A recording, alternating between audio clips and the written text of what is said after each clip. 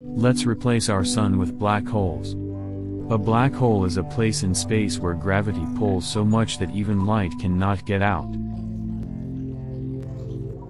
NGC 1600.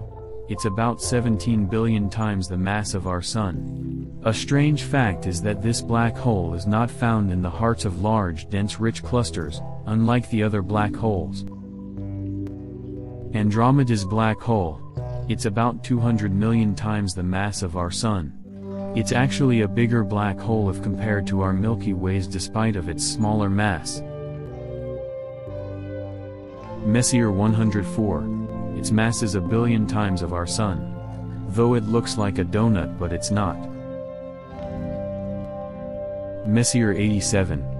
It's 6.5 billion times of our Sun's mass. There would be no light source near our planet, and no life would be existing. Sagittarius A.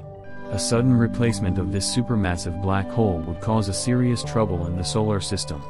Its mass is about 4 million times our Sun. It's the center of our galaxy and stars revolve around it.